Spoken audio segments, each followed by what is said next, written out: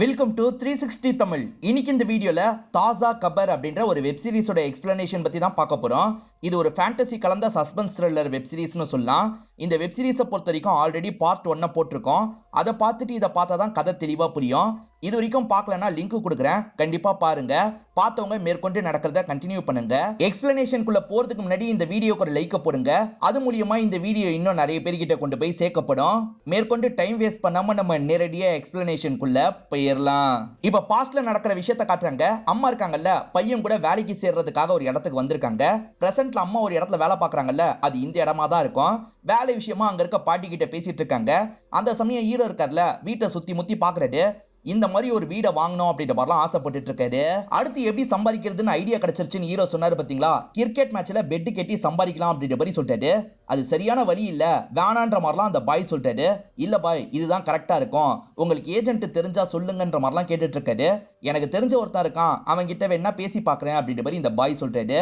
இந்த பாய் மூலியமா அந்த ஏஜென்ட் கிட்ட இவங்க பேசிடுறாங்க. உங்க பேர் என்ன? எந்த டீமுக்கு மேல பெட் கட்டுறீங்க? அப்படின்ற மாதிரிலாம் கேக்குறாங்க. ஈரவம் வரதன் அப்படின்ற மாதிரி பொய்யா ஒரு பேரை கிரியேட் பண்ணிடுறாரு. அது மூலியமா இவர் பெட் எல்லாம் கெட்டுறாரு. இவருக்கு தான் யார் ஜெயிக்க போறாங்கன்னு தெரியும்ல? அது மூலியமா நிறைய காசை சம்பாதிக்கிறது. இப்ப ஈரனுக்கு பிடிச்ச மாதிரி ஒரு பேகை வாங்கி தரலாம்னு நினைக்கிறது. ஈரோட கெட்டப்ப பார்த்து இவர் வாங்க மாட்டாருன்னு அங்க இருக்கவர் நினைக்கிறது. இங்க எல்லா பேகும் பத்தாயிரம் ரூபாய்க்கு மேலன்னு சொல்லிட்டாரு. இதனால ஹீரோ டென்ஷன் ஆயிடுறாரு. இப்ப அங்க வேலை பாக்குறவங்கல இருந்து எல்லாருக்குமே ஃப்ரீயா பேக் எல்லாம் வாங்கி தராரு.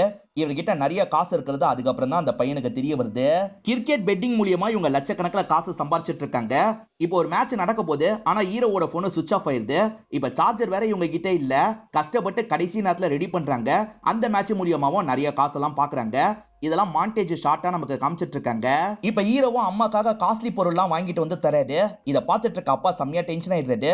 திரும்பி அந்த பழைய வேலையை ஆரம்பிச்சிட்டியா அப்படின்ற மாதிரிலாம் கோவப்படுறாரு. இந்த வீட்டுக்கு ஒன்னால போலீஸ் வந்ததுன்னு வச்சுக்கோ அவ்வளவுதான் அப்படின்ற மாதிரிலாம் சொல்லிட்டு இருக்காரு. நான் அந்த மாதிரி எந்த வேலையும் பார்க்கலன்ற மாதிரிலாம் இவர் சொல்லிட்டாரு இப்ப அம்மா கிட்ட தந்துட்டு இங்கிருந்து கிளம்பிடுறாரு.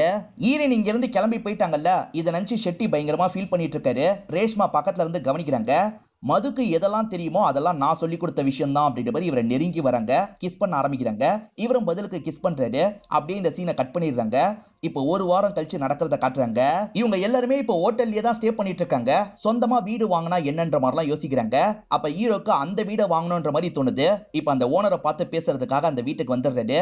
நிறைய காசை எடுத்துட்டு தான் வந்திருக்காரு. இந்த வீடு எனக்கு சொந்தமா வேணும்னு கேக்குறாரு.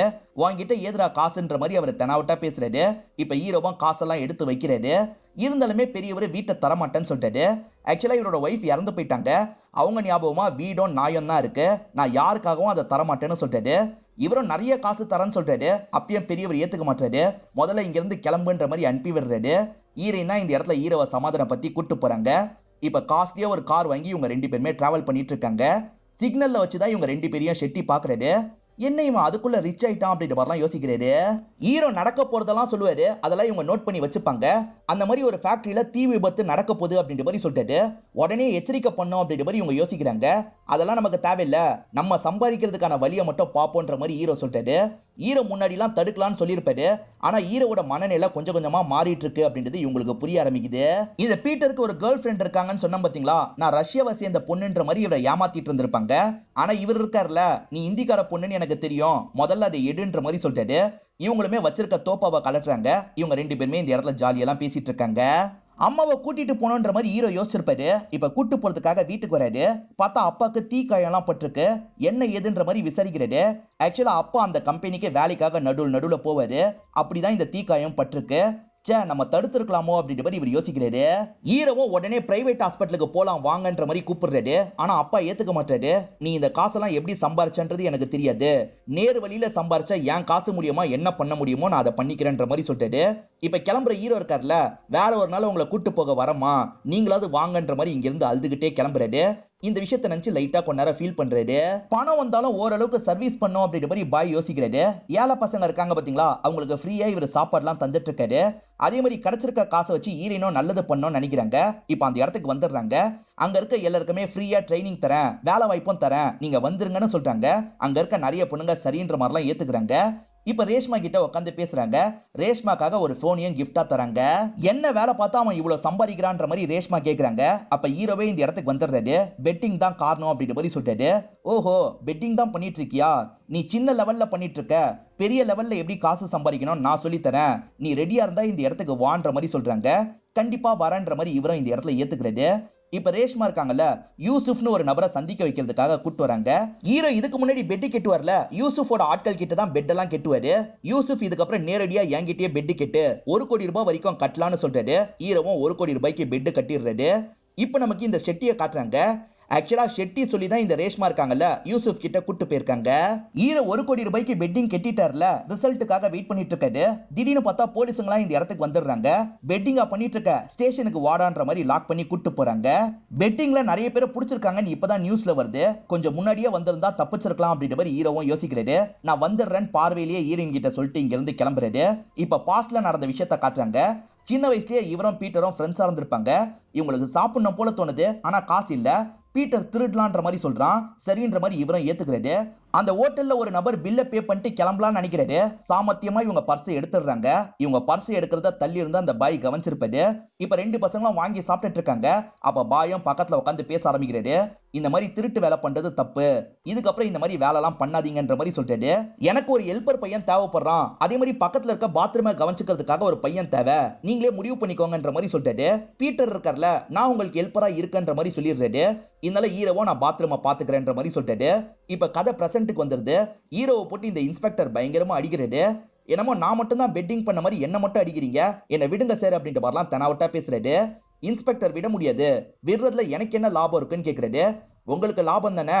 இதுக்கு முன்னாடி பெட்டிங்ல நிறைய ஜெயிச்சிருக்கேன். உங்களையும் நான் ஜெயிக்க வைக்கிறேன். என்ன நம்பி நான் சொல்ற டீம்ல பெட்டு கேட்டுங்க. ஜெயிப்பீங்கன்ற மாதிரிலாம் சொல்லிட்டாரு இவர் நிறைய ஜெயிச்சிருக்கிறது இன்ஸ்பெக்டருக்கு தெரியுது. சரி நீ சொல்லு. நான் பெட்டு கேட்டுறேன் அப்படின்ற மாதிரி சொல்லிட்டாரு நீ கிளம்பலாம் அப்படின்ற மாதிரி இங்க இருந்து ஹீரோ அனுப்பி விடுறாரு. இப்ப ஹீரோக்கு இருக்க கேள்வி என்னன்னா நம்ம கூட்டத்துல யாரோ நம்மளை மாட்டி விட்டுருக்காங்க போலன்னு யோசிக்கிறாரு. அது யாருன்னு கண்டுபிடிக்கணும்ன்ற மாதிரி கணக்கு பண்றாரு. இப்ப எல்லாருமே சோஃபால வந்து உட்காடுறாங்க மேட்ச் ஆரம்பிக்க போது யாரு ஜெயிக்க போறா? சொல்லுன்ற மாதிரிலாம் கேக்குறாங்க.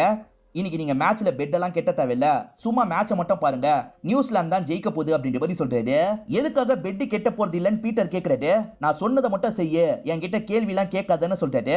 அதே மாதிரி எல்லாருமே போன் எடுத்து டேபிள்ல வைங்கன்னு சொல்றாரு. எல்லாருமே டேபிள்ல வச்சிடுறாங்க. இப்ப யாரோ காலிங் பெல் அடிக்கிற சவுண்ட் கேக்குது. இவர் கதவை திறக்கிறாரு. அங்க வந்த ஒரு நபர் இவர்கிட்ட கன்னை தான் தராரு இவர் தான் கேட்டிருப்பாரு போல. இவர் கன்னோட வரதை பார்த்து எல்லாருமே ஷாக் ஆயிடுறாங்க. எதுக்கு கன்னு அப்படின்ற மாதிரிலாம் கேட்குறாங்க நல்லா வளர்ந்துட்டு இருக்கோம் ஒரு சேஃப்டிக்காக தான் கன்னுன்ற மாதிரி சொல்லிட்டாரு. ஹீரோ எல்லாரோட போனையும் டேபிள்ல வைக்க சொல்லியிருக்காரு. அதே சமயம் கன்னெல்லாம் வாங்கியிருக்காரு. நம்ம மேலதான் சந்தேகப்படுறான் அப்படின்றது இவங்க எல்லாருக்குமே தெளிவா புரிஞ்சிருது. இவங்க யாருக்காவது கால் வருதா அப்படின்ற மாதிரி பார்த்துட்டு இருக்காரு ஆனா யாருக்கும் கால் வரல. இப்ப மேட்ச்ல சவுத் ஆப்பிரிக்கா தான் ஜெயிக்குது. எதுக்காகடா போய் சொன்னேன் அப்படின்ற மாதிரி எல்லாருமே கேட்டுட்டு இருக்காங்க. இப்ப இன்ஸ்பெக்டரும் கால் பண்ணி நீ சொன்ன மாதிரியே சவுத் ஆப்பிரிக்கா ஜெயிச்சிருச்சு அப்படின்ற மாதிரி சொல்லிட்டாரு. நீங்க ஹாப்பி தானேன்னு கேக்குறாரு. இன்ஸ்பெக்டரும் ஹாப்பின்னு சொல்லிட்டாரு.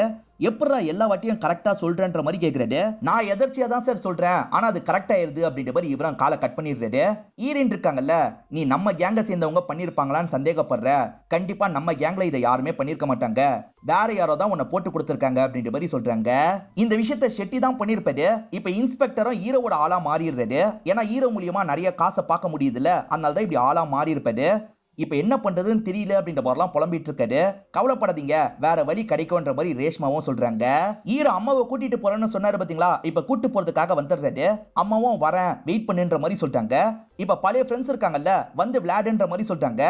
அவன் ஆளே மாறிட்டான். இதுக்கப்புறம் விளையாட மாட்டான்ற மாதிரி வேற ஒருத்தர் சொல்றாரு.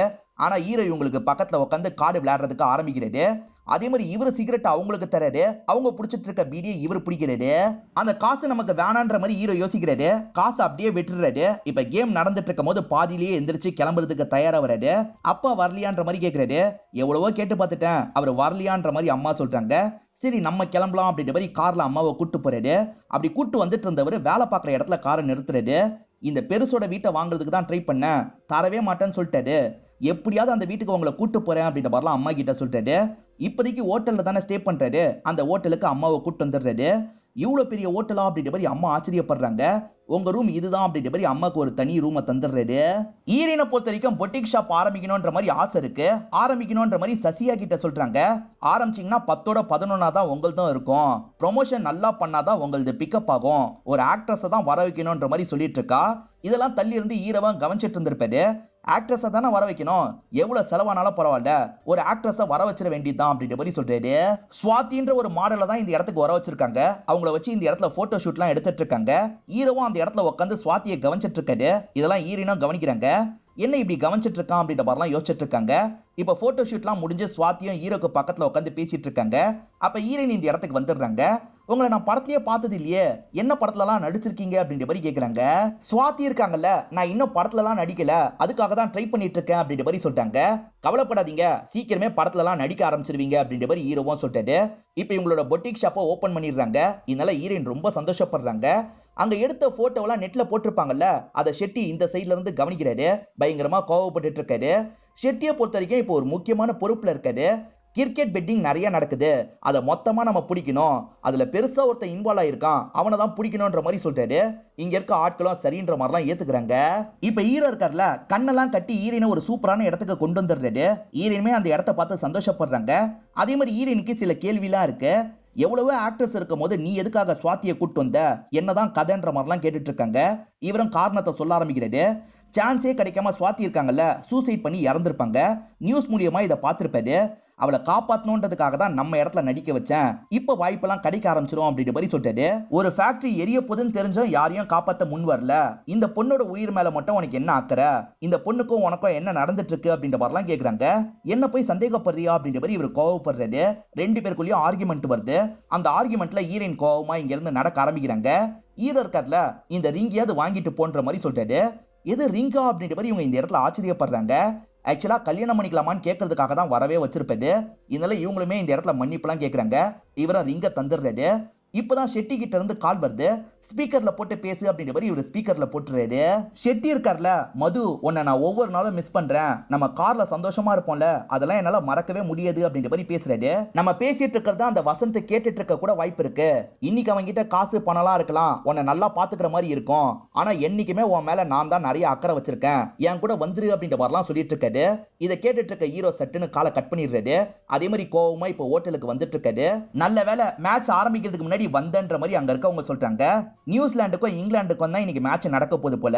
இவர் இருக்கார்ல நியூசிலாந்து தான் இன்னைக்கு ஜெயிக்கும். காசை கட்டுங்கன்ற மாதிரி சொல்லிட்டாரு. இவங்களுமே வேகமா காசெல்லாம் கட்ட ஆரம்பிக்கிறாங்க. ஹீரோ மேட்ச் பிக்சிங் பண்றதா ஆபீசர்ஸ்லாம் சந்தேகப்படுறாங்க. நிறைய காசை இன்வெஸ்ட் பண்ணி அந்த டீம் ஜெயிச்சிருச்சுன்னா கண்டிப்பா இவனை அமைக்கிறணும் அப்படின்ற மாதிரிலாம் இவங்க யோசிச்சுட்டு இருக்காங்க. நியூசிலாந்து தோக்குற மாதிரிலாம் மேட்ச் போயிட்டு இருக்கு. கண்டிப்பா ஜெயிச்சிருமா அப்படின்ற மாதிரி இவரோட ஆட்கள்லாம் கேட்கறாங்க சும்மா நோய் நோய்னு ஏதாவது கேட்காதீங்க. கண்டிப்பா ஜெயிக்கும்ன்ற மாதிரி இவர் சொல்லிடுறாரு. இப்பதான் அந்த இன்ஸ்பெக்டர் கிட்ட இருந்து கால் வருது. நியூசிலாந்து ஜெயிச்சிருமா அப்படின்ற மாதிரி கேட்கிறாரு ஜெயிச்சிரும் சார் நான் தான் இவ்வளவு காசு போட்டிருக்கேன்ல. ஏன் பயப்படுறீங்க அப்படின்ற மாதிரிலாம் இவர் கேட்கிறாரு நியூசிலாந்து தோக்குற மாதிரி போயிட்டு இருக்கு அப்ப கூட இவர் நிறைய காசை போட சொல்லிக்கிட்டே இருக்காரு. என்ன இவன் போட சொல்லிக்கிட்டே இருக்கான்னு இவங்களே யோசிச்சுட்டு இருக்காங்க. ஒரு ஸ்டேஜ்ல நியூசிலாந்து தோத்துருது. இவங்களோட நிறைய காசு போயிருது. எதுக்காக இப்படி பண்ணன்ற மாதிரி எல்லாருமே கோவப்பட்டு இருக்காங்க. என்கிட்ட கோவத்தெல்லாம் காட்டாதீங்க. அமைதியே இருங்கன்னு சொல்லிட்டாரு. எல்லாருமே அமைதியாயிடுறாங்க. இப்ப இன்ஸ்பெக்டர் கால் பண்ணி இவரை போட்டு பயங்கரமா திட்டிட்டு இருக்காரு நீ சொல்லி நியூசிலாந்து டீம் மேல மொத்த காசையும் கட்டின. எல்லாமே போயிடுச்சு அப்படின்ற மாதிரிலாம் சொல்லிட்டாரு. என்ன எதுக்காக சார் இவ்வளவு நம்புறீங்க? எல்லா சமயமும் நான் எப்படி சரியா சொல்ல முடியும்? நான் சொல்றது நிறைய சமயம் நடக்குது. சில சமயம் நடக்க மாட்டேங்குது. அதுக்கு நான் என்ன பண்ணுவேன்ற மாதிரிலாம் கேட்டுட்டு இருக்காரு இன்ஸ்பெக்டர் இருக்கார்ல உன்னை லாக் பண்ணி நல்லா அடிக்கிறேன்ற மாதிரிலாம் சொல்லிட்டாரு. சார் இவ்வளவு நேரம் நீங்க பேசுனீங்கல்ல அதை நான் ரெக்கார்ட் பண்ணி வச்சிருக்கேன். சூதாட்டத்தை தடுக்க வேண்டிய நீங்களே சூதாட்டம் விளையாடி இருக்கீங்கன்னு ஆபீசருக்கு நான் சொல்லுவேன். அப்ப என்ன பண்ணுவீங்கன்ற மாதிரிலாம் கேக்குறாரு. இதனால இன்ஸ்பெக்டரால பதிலுக்கு எதுவுமே பேச முடியல. போனை வைடான்ற மாதிரி ஹீரோ கோவமா சொல்றாரு. இன்ஸ்பெக்டரும் காலை கட் பண்ணிடுறாரு. பார்த்தா இன்ஸ்பெக்டருக்கு பக்கத்துல தான் ஷெட்டி உக்காந்துருக்காரு. ஷெட்டி சொல்லி தான் இன்ஸ்பெக்டர் இந்த பிளானையே போட்டிருப்பாரு. எல்லாம் நாசமா போயிடுச்சு அப்படின்ற மாதிரிலாம் ஃபீல் பண்ணிட்டு இருக்காங்க. ஹீரோ சந்தோஷமா சிரிக்கிறாரு. ஹீரோ ஒரு பிளானா தான் இதை பண்ணிருக்காருன்ற மாதிரி இவங்க எல்லாருமே யோசிக்கிறாங்க. ஹீரோ ரூம்ல படிச்சிட்டு இருக்காரு திடீர்னு டிராயரை ஓபன் பண்ணி உள்ள இருக்க கன்னை எடுத்து பாக்குறாரு. கொஞ்ச நேரம் கன்னை பார்த்தவரு திரும்பி டிராயர்ல அந்த கன்னை வச்சிடுறாரு. இங்க தான் 50 எபிசோட் முடியுது. இப்ப பாஸ்ட்ல நடந்த விஷயத்த நமக்கு காட்டுறாங்க. அப்பா இருக்காரு பாத்தீங்களா? டயர்டா வீட்டுக்கு வராரு. அப்பாக்கு நிரந்தரமா ஒரு வேலை கிடைக்கல. ஒவ்வொரு வேலையா தான் இவர் ட்ரை பண்ணிட்டு இருக்காரு. இதை கவனிச்சிட்டு இருக்க ஒய்ஃப் இருக்காங்கல்ல நான் வேணா வீட்டு வேலைக்கு போறேன்ற மாதிரி சொல்றாங்க. ஃபினான்ஷியலாக இவங்க ரொம்ப கஷ்டமாக இருக்காங்க அப்படின்றது பையனுக்கு ஓரளவுக்கு புரியுது. அப்பா இருக்கார்ல நீ கேட்ட கன்னை வாங்கிட்டு வந்திருக்கேன். இந்த கன்னுன்ற மாதிரி கையில் தராரு எல்லாரும் பார்க்கும் போதோ கோபமாக வருதுடா. இந்த கன்னை வச்சு எல்லாரையும் சுட்டு தள்ளு அப்படின்ற மாதிரி அப்பா காமெடியாக சொல்லிட்டு இங்கேருந்து கிளம்பிடுறது கிளம்பிடுறாரு இந்த பையனை ஷூட் பண்றேன் அப்படின்ற பாரலாம் இந்த இடத்துல விளையாடிட்டு இருக்கான். இப்ப கதை பிரசன்ட்டுக்கு வந்துருது. ஹீரோ இருக்காரு பாத்தீங்களா? பீச் பகுதி கிட்ட வந்துடுறாரு. கையில கண்ணியும் எடுத்துட்டு வந்திருக்காரு அப்படின்ற மாதிரி காட்டுறாங்க. அப்படியே கட் பண்ணி இவரோட ஃப்ரெண்ட்ஸ் கடையெல்லாம் நமக்கு காட்டுறாங்க. போலீஸுங்க இருக்காங்கல்ல மொத்தமா வந்து இவரோட ஃப்ரெண்ட்ஸ் எல்லாரையும் லாக் பண்றாங்க. இவங்க கிட்ட நிறைய காசு இருக்கா அப்படின்ற மாதிரிலாம் தேடி பாக்குறாங்க. ஆனா காசு பெருசா இருக்க மாதிரியே தெரியல. சார் தேடி பார்த்தோம். எதுவுமே கிடைக்கல அப்படின்ற மாதிரிலாம் ஷெட்டி கிட்ட சொல்றாங்க. எங்கேயோ மறைச்சு வச்சிட்டான் போல அப்படின்ற மாதிரி இவர் யோசிக்கிறாரு. எதுவுமே கிடைக்கலன்னு தெரிஞ்சோன்னா ஹீரோ இந்த இடத்துல ஸ்மைல் பண்ணிட்டு இருக்காரு. ஹீரோ ஒரு தாத்தா கிட்ட வீட்டை கேட்டாரு பாத்தீங்களா? அந்த தாத்தாவோட நாய் இந்த இடத்துக்கு வந்துருது. இங்க இருக்க பசங்களை பார்த்து குலைச்சிட்டு இருக்கு. இந்த பசங்களும் கோவப்பட்டு அந்த நாயை அடிக்கிறதுக்காக துரத்தலாம் செய்யறாங்க இப்ப ஹீரோ இருக்கார்ல அந்த தாத்தாக்கு வீடியோ கால் பண்ணிருந்தது அந்த நாயை உங்களோட ஒய்ஃப் மாதிரின்னு சொன்னீங்கல்ல இங்க சின்ன பசங்களாம் அடிக்கிறதுக்காக துரத்துறாங்க சாவடிச்சிருவாங்க போலன்ற மாதிரி சொல்லிட்டாரு ஏன்னா நியூஸ்ல பசங்க சாவடிச்சிட்டாங்கன்ற மாதிரி வந்திருக்கும். அதனால தான் இந்த இடத்துக்கு வந்திருக்காரு காப்பாத்தவா வேணாமான்னு கேக்குறாரு தயவு செஞ்சு காப்பாத்து அப்படின்ற மாதிரி அந்த பெரியவர் கேக்குறாரு சரி நான் காப்பாத்துறேன் ஆனா வீட்டை தந்துருங்கன்னு சொல்லிட்டாரு வேற வழி இல்லாம இந்த பெரியவரும் ஏத்துக்கிறாரு இப்ப பசங்களை மிரட்டி அனுப்புறதுக்காக இவர் மேல பார்த்து ஷூட் பண்றாரு பசங்களாம் கிளம்பிடுவாங்க இவரும் நாயை வீட்டுக்கு கூட்டு வந்துடுறாரு. உங்களுக்கான காசை கார் டிக்கில வச்சிருக்கேன். சரியா இருக்கான்னு பாத்துக்கோங்கன்ற மாதிரி அந்த பெரியவரை பார்த்து சொல்றாரு. அந்த பெரியவரும் கார் டிக்கில இருக்க காசெல்லாம் ஓபன் பண்ணி பாக்குறாரு இப்பதான் நைட்டு நடந்த விஷயத்த நமக்கு காட்டுறாங்க. நாளைக்கு போலீஸ் இந்த இடத்துலலாம் ரைடு பண்ண போறாங்கன்ற மாதிரி இவருக்கு நியூஸ் வந்திருக்கும். அதனால நைட்டோட நைட்டா காசெல்லாம் வேற ஒரு இடத்துக்கு மாத்த சொல்றாரு. இவரோட ஆட்கள் இருக்காங்கல்ல மாத்திர வேலையெல்லாம் பார்த்துட்டு இருக்காங்க. எதனால மாத்த சொன்னாரு அப்படின்றது உங்களுக்கு தெரியாது. காலையில நியூஸை பார்த்து தான் தெரிஞ்சுக்கிறாங்க. அப்ப இதனால தான் மாத்த சொன்னியா? இத பத்தி எதுக்காக எங்க கிட்ட சொல்லு அப்படின்ற மாதிரி கேக்குறாங்க. சொன்னா நீங்க ரொம்ப பயந்துருப்பீங்க. அதனால தான் சொல்லுன்ற மாதிரி சொல்லிட்டாரு இப்பெல்லாம் நம்ம கிட்ட எதை பத்தியும் டிஸ்கஸ் பண்றது இல்ல அப்படின்ற மாதிரி எல்லாருமே யோசிக்கிறாங்க. இப்ப ஈரன் இருக்காங்கல்ல சோகமா லிப்ஸ்டிக் எல்லாம் பூசிட்டு இருக்காங்க. இவரும் என்னாச்சு? ஏன் இப்படி உக்காந்துட்டு இருக்கன்ற மாதிரி கேக்குறாரு. நம்ம பண்ண வரைக்கும் போதும். இதோட நிறுத்தி நம்ம வாழ்க்கையை வாழ்வோம்னு சொல்றாங்க. நான் இந்த நியூஸ் எல்லாம் பார்த்துட்டு இருக்க வரைக்கும் எதையுமே நிறுத்த முடியாதுன்ற மாதிரி சொல்லிட்டாரு. அப்ப எப்பதான் நிறுத்துற மாதிரி பிளான்ன்ற மாதிரி இவங்க கேக்குறாங்க. நானே என்னைக்கு நியூஸா மாறுறனோ அன்னைக்கு தான் நிறுத்த முடியும்னு சொல்லிட்டு இப்ப பெட்டிங்க்கு டைம் ஆயிடுச்சு. இவங்க எல்லாம் கீழே வந்துடுறாங்க. இப்ப ஹீரோவும் இந்த டீம் மேல பெட்டி கேட்டுங்கன்னு சொல்றாரு. இப்பயாவது கரெக்டா சொல்றானா இல்ல தப்பா சொல்றானா அப்படின்ற மாதிரி கூட இருக்க எல்லாருமே யோசிக்கிறாங்க. சரி இவன் சொன்ன மாதிரி பெட்டி கெட்டலாம் அப்படின்ற மாதிரி பெட்டி கெட்ட ஆரம்பிக்கிறாங்க. இவர் தொடர்ச்சியா சொல்லி அடிக்கிறார்ல அதனால நிறைய பேருக்கு இவர் மேல நம்பிக்கை இருக்கு. இவர் எந்த டீம்ல பெட்டி கேட்டாரோ அந்த டீம்லயே நம்மளும் பெட்டி கேட்டலான்ற மாதிரி நிறைய மக்கள் யோசிக்கிறாங்க. இதெல்லாம் யூசுஃபும் கவனிச்சிட்டு இருக்காரு மார்க்கெட்டே இவன் கட்டுற டீம் மேல தான் கெட்டுது. நம்ம மட்டும் எதுக்கு விடணும்? நம்மளும் நிறைய காசு கட்டலாம் அப்படின்ற மாதிரி ஆளுங்களெல்லாம் கட்ட சொல்லிட்டு இருக்காரு ஹீரோ நிறுத்தவே மாட்டாரு. ஆல்மோஸ்ட் இவரோட எல்லா இன்வெஸ்ட்மெண்ட்டையும் பெட்டா கட்ட சொல்லிட்டாரு. ஆளுங்களும் எதுக்காக இவ்வளவு காசுன்னு கேக்குறாங்க? நான் சொல்றதை மட்டும் பண்ணுங்கன்ற மாதிரி சொல்றாரு. பெட்டிங்கை பொறுத்த வரைக்கும் ஒரு டீமுக்கு நிறைய பேர் கட்டுறாங்கன்னு வச்சுக்கோங்களேன். இன்னொரு டீமுக்கு ரொம்ப கம்மி காசு கட்டினாலே போதும். பல மடங்கு அதிகமா வரும். இப்ப இவர் என்ன பண்றாருன்னா இன்னொரு டீம் பேர்ல நம்மள இருந்து ஒரு அஞ்சு கோடி ரூபாய் மட்டும் கட்டுங்கன்ற மாதிரி சொல்லிட்டாரு. இவங்கள அம்மா புதுவா இல்ல? அம்மாவை தான் அஞ்சு கோடி ரூபாய் கட்ட சொல்றாங்க. இப்ப அம்மாவும் கால் பண்ணி அஞ்சு கோடி ரூபான்ற மாதிரி சொல்லிடுறாங்க. இவர் ஐம்பது கோடிக்கு மேல ஒரு டீம்ல கட்டியிருக்காரு. ஜெயிச்சா கூட நூறு கோடி தான் இவருக்கு கிடைக்கும். ஆனா இன்னொரு டீமுக்காக அஞ்சு கோடி கட்டியிருக்காருல? ஜெயிச்சார்னா ஐநூறு கோடி ரூபாய் கிடைக்கும். இவன் இந்த பிளானை தான் பண்ணிருக்கான்னு டீமை சேர்ந்தவங்களாம் யோசிச்சுட்டு இருக்காங்க. இப்ப ரிசல்ட்டும் வந்துருது. ஹீரோ அஞ்சு கோடி ரூபாய் கட்டினார்ல? அந்த டீம் தான் ஜெயிக்குது. மார்க்கெட்ல போட்டி போட்டு எல்லாருமே தோத்துடுறாங்க. இவர் தான் பல்கான அமௌண்ட்டை சம்பாரிச்சிடுறாரு. இப்ப பயங்கரமா இந்த இடத்துல சந்தோஷப்படுறாரு. என் திறமை மேல யாருமே சந்தேகப்படாதீங்க. என்ன பண்ணணும்ன்றது எனக்கு நல்லா தெரியும். நான் பாத்துக்கிறேன். இப்போதைக்கு நீங்க எல்லாம் கிளம்புங்க. எப்ப தேவையோ நான் கூப்பிடுறேன்ற மாதிரி சொல்லிட்டாரு. அதனால கூட இருக்க எல்லாருமே இங்க இருந்து கிளம்பி போயிடுறாங்க. இவர்கிட்ட தான் இப்ப நிறைய காசு இருக்குல்ல அது மூலியமா இவர் நிறைய இண்டஸ்ட்ரி எல்லாம் தொடங்குறாரு. அதே சமயம் அந்த சுவாத்தி கூட பழகலாம் ஆரம்பிக்கிறாரு. ஈரினை பொறுத்த வரைக்கும் இப்ப ஆயிரக்கணக்கான பெண்களுக்கு வேலை வாய்ப்புலாம் தராங்க. அதனால இவங்களுமே பேசப்படுற ஆளா மாறுறாங்க. சசியாவை பொறுத்த வரைக்கும் வெளிநாட்டுல படிக்கணும்னு ஆசைப்பட்டிருப்பாங்க. அப்ப கொஞ்சம் காசு சேர்த்திருக்காருல. இதெல்லாம் உன்னோட படிப்புக்காக வச்சுக்கோன்னு சொல்லிட்டாரு. பொண்ணு இந்த இடத்துல பயங்கரமா சந்தோஷப்படுறாங்க. அதே சமயம் இந்த ஷெட்டி இருக்கார்ல டெபியூட்டி சிஎம்மா மாறிடுறாரு. அவனை எப்படியாவது பழி வாங்கணும் அப்படின்ற மாதிரி யோசிக்கிறாரு. பீட்டர் கிட்ட ஒரு குறிப்பிட்ட அமௌண்ட்டை ஹீரோ தந்திருப்பாரு. அந்த அமௌண்ட் கொஞ்சம் கொஞ்சமா குறைஞ்சிட்டு இருக்கு என்ன பண்றதுன்னு தெரியாம பீட்டர் முழிச்சிட்டு இருக்காரு அதே சமயம் ஹீரோ இருக்காரு பாத்தீங்களா? அந்த சுவாதி கூட நிறைய டைம் ஸ்பெண்ட் பண்றாரு. கூட ஈரனும் இருக்காங்க. ஆனா இவர் சுவாதி கிட்ட தான் நிறைய பேசுறாரு. இதை பாக்குற ஈரனுக்கு கஷ்டமா இருக்கு. இப்போ நியூ இயர் அன்னைக்கு பார்ட்டி பண்ணலான்ற மாதிரி எல்லாரையும் வர வச்சிருப்பாரு. அந்த மாதிரி ஃப்ரெண்ட்ஸுமே இந்த இடத்துக்கு வந்திருக்காங்க. உங்களெல்லாம் ரொம்ப நாள் கழிச்சு பார்த்ததுல சந்தோஷம்னு சொல்றாங்க. எங்களுக்கும் சந்தோஷம் தான் அவன் தான் எங்க கூட பேசவே மாட்டான் அப்படின்ற மாதிரி இவங்க ரெண்டு பேருமே சொல்றாங்க. இப்ப ஹீரோவை இவங்களை பார்த்து பேசுறாரு. அப்ப இவர் இருக்கார்ல எனக்கு காசு வேணும்னு கேட்கறதுக்காக வராரு. அதுக்குள்ள ஹீரோ கிட்ட முக்கியமான ஒரு ஃப்ரெண்டு பேசுறாரு. அதனால இவங்க ரெண்டு பேரும் ஹீரோ கண்டுக்க மாட்டாரு பாய் இருக்கார்ல இதுக்கப்புறம் நம்ம இங்க இருக்கிறது வேஸ்ட் கிளம்பலான்ற மாதிரி கூட்டு போறாரு. டெபியூட்டி சிஎம்மும் மதுவும் க்ளோஸா இருக்க மாதிரி ஒரு எம்எம்எஸ் ரிலீஸ் ஆயிருக்கு போல. அதை பத்தி நியூஸ் ஆர்டிக்கல்ல வந்திருக்கு. இதை பாக்குற ஹீரோ ஷாக் ஆயிடுறாரு. இது சார்ந்து மது கிட்ட பேசுறதுக்காக வராரு. இவர் மது கிட்ட பேசலாம்னு நினைக்கிறதுக்குள்ள டெபியூட்டி சிஎம் இருக்கார்ல இந்த இடத்துக்கு வந்துடுறாரு ஆக்சுவலா ஈர அவரை இன்வைட்டே பண்ணிருக்க மாட்டாரு. அவரா இந்த இடத்துக்கு வந்திருக்காரு? நீ எதுக்காகடா இந்த இடத்துக்கு வந்திருக்கன்ற மாதிரி இவருக்கு மட்டும் கேட்கற மாதிரி லைட்டா சொல்றாரு.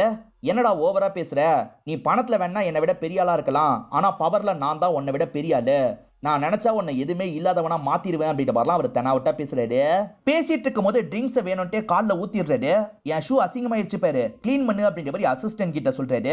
அந்த அசிஸ்டண்டா ஈரோட அப்பா தான் வேலை பாக்குறாரு ஈரோட அப்பா கிளீன் பண்ணிட்டு இருக்காரு என்னப்பா பண்ணிட்டு இருக்கீங்க நிறுத்துங்க அப்படின்ற மாதிரிலாம் ஹீரோ தடுக்கிறாரு. எந்த வேலையும் எனக்கு அசிங்கம் இல்ல என்னை விடுன்ற மாதிரிலாம் அப்பா சொல்றாரு. அதே சமயம் ஷெட்டி இருக்கார்ல ஈரவை கிண்டல் பண்ற மாதிரி பேசிட்டு இங்க இருந்து கிளம்பிடுறாரு. ஈரவும் ரொம்ப அப்செட் ஆகுறாரு. ஈரின் மேல வேற இப்ப கோவமா இருக்கார்ல அதனால ஈரனை முறைச்சு பாக்குறாரு. இந்த இடத்துல தான் சுவாதி இருக்காங்க. இப்ப சுவாதிக்கு பக்கத்துல வந்து சட்டுன்னு சுவாத்தியை கிஸ் பண்ணிடுறாரு இதை. பாக்குற ஈரன் ஷாக் ஆயிடுறாங்க. இப்ப எல்லாரும் முன்னாடியும் ஹீரோவோட கண்ணத்திலே பலார்னு ஒரு அற விடுறாங்க. என்ன பண்ணிட்டு இருக்க அப்படின்ற மாதிரிலாம் கோவமா கேக்குறாங்க. நீ எத்தனை வாட்டி அந்த ஷெட்டி கூட கார்ல ஒன்னா இருந்திருக்க? நான் பார்த்தோம் பார்க்காத மாதிரி அங்க இருந்து கிளம்பி போயிருக்கேன்ல. அந்த மாதிரி ஒன்னால கொஞ்சம் பொறுத்துக்க முடியாதா அப்படின்ற மாதிரிலாம் கேக்குறாரு நான் வேற வழி இல்லாம அப்படி பண்ணேன். ஆனா நீ அப்படி பண்ணல. நீ ரொம்ப மாறிட்ட அப்படின்ற மாதிரி கோவமா திட்டிட்டு இங்க இருந்து கிளம்ப ஆரம்பிச்சிடுறாங்க. ஹீரோ பணம்லாம் வந்தோன்னே நிறைய மாறிட்டாரு பாத்தீங்களா? இதெல்லாம் அம்மா அப்சர்வ் மட்டும் பண்ணிருப்பாங்க. இப்பதான் பேசுறதுக்காக வராங்க. இந்த பணம் வந்தோடனே நீ ரொம்ப மாறிட்ட. பழைய வசந்த் மாதிரி இருக்கணும் அப்படின்ற மாதிரிலாம் சொல்லிட்டாங்க. இவரும் இந்த இடத்துல பயங்கரமா ஃபீல் பண்றாரு. ஈரின் இதுக்கு முன்னாடி ஒரு இடத்துல இருந்தாங்கல்ல அங்க இருக்க ரூம்க்கே வந்துடுறாங்க. இப்ப சோகமா ஃபீல் பண்ண மாதிரி உக்காந்துருக்காங்க இருக்காங்க அப்ப இந்த இடத்துக்கு கரெக்டா ஷெட்டி வந்துடுறாரு. ஃபீல் பண்ணாது அப்படின்ற மாதிரிலாம் சமாதானப்படுத்துற மாதிரி கை வைக்கிறாரு. இந்த விஷயத்தெல்லாம் ரேஷ்மா போட்டோ எடுத்துடுறாங்க. இதை தான் அவங்க நெட்ல பரப்பி விட்டுருக்காங்க போல. ஹீரோ இப்படி பண்ணிட்டானே அப்படின்ற மாதிரி இவங்க ஃபீல் பண்ணிட்டு இருக்காங்க அதே சமயம் ஹீரோ இருக்கார்ல நம்ம ஓவரா தான் பண்ணிட்டோம் அப்படின்ற மாதிரி யோசிச்சுக்கிட்டே இவரோட ஏரியாவுக்கு வந்துட்டு இருக்காரு இதை தான் ஸ்டார்டிங்ல நமக்கு காமிச்சிருப்பாங்க. இப்ப இவரோட ஏரியால ஒரு இடத்துல காரை நிறுத்திடுறாரு. இவர் ஒரு பாத்ரூம்ல வேலை பார்த்தார்ல அந்த பாத்ரூம்குள்ள வந்துடுறாரு. காசுலாம் தராம பாத்ரூம் போயிட்டு இருக்காரு என்னடா காசு தராம பாத்ரூம் போயிட்டு இருக்க இது உன் அப்பா வீட்டு சொத்தா அப்படின்ற மாதிரிலாம் கேக்குறாரு இப்ப ஹீரோவும் அவர் முன்னாடி நிறைய காசை தூக்கி போடுறாரு ஆமாண்டா இது என்னோட இடம் தான் அப்படின்ற மாதிரி சொல்றாரு இப்ப இவரோட வீட்டுக்கு போலான்ற மாதிரி வீட்டுக்கு வந்துடுறாரு அப்பா அந்த இடத்துல படுத்து தூங்கிட்டு இருக்காரு இவரும் பக்கத்துல உட்காந்து அப்பாவை பார்த்துட்டு இருக்காரு இப்பதான் இவரோட போன்ல ஒரு நோட்டிபிகேஷன் வருது. இவரை என்னன்ற மாதிரி எடுத்து செக் பண்ணிட்டு தொழிலதிபர் வசந்த் இறந்து போயிட்டாரு அப்படின்ற மாதிரி தான் நியூஸ்ல வந்திருக்கு. இது நான் இறந்து போயிட்டேனா அப்படின்ற மாதிரி இவர் ஷாக் ஆகுறாரு. இன்னும் கொஞ்ச நேரத்துல அந்த விஷயம் நடக்க போகுது போல. இதை பாக்குறவரு ரொம்ப பயப்படுறாரு. இதோடய இந்த சீசனை நமக்கு முடிச்சிடுறாங்க. கண்டிப்பா இந்த வெப் சீரிஸ் உங்க எல்லாருக்குமே பிடிச்சிருக்கோம் நம்புறேன். இந்த வீடியோ உங்களுக்கு பிடிச்சிருந்ததுன்னா லைக் பண்ணுங்க கமெண்ட் பண்ணுங்க. மறக்காம த்ரீ சிக்ஸ்டி தமிழ் சேனலை சப்ஸ்கிரைப் பண்ணுங்க. தொடர்ச்சியா இந்த மாதிரி வீடியோக்கள் வந்துகிட்டே தான் இருக்கும்.